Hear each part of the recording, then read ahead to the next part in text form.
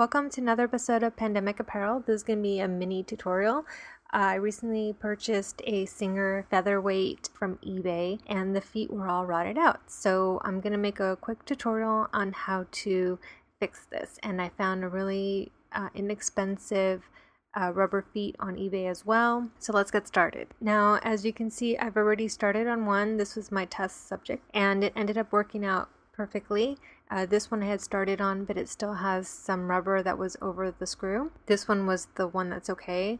And this one, I didn't have to take anything out of this from in front of the screw. And I'm using an embossing heat gun. I just heated it up just a little tiny bit just to remove the rubber feet that was in front of the screw. And then I'm gonna take off the screw and then finish taking off the rubber feet. And I don't have the heat gun on there all the time. I just have it on there enough to get a little bit soft so I can scrape it out. So I do that to the rest of the feet, uh, which doesn't take any time at all. And then I just put the screw inside the rubber feet and place it on the machine and screw it in. It's very simple and easy to do. And here is the final product. Uh, these little feet I found on eBay and they were like less than a dollar each.